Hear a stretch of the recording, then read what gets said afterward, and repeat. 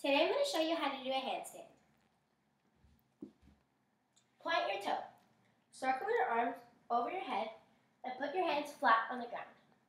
Kick your feet up and join them together. Eventually, your handstand should look like this.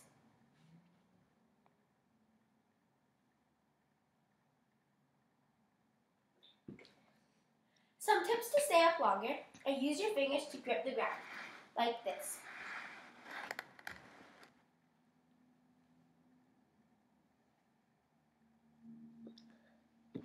Also, remember to point your feet and to squeeze your stomach and keep your legs together. Once you've mastered it, now you can try to change positions of your legs.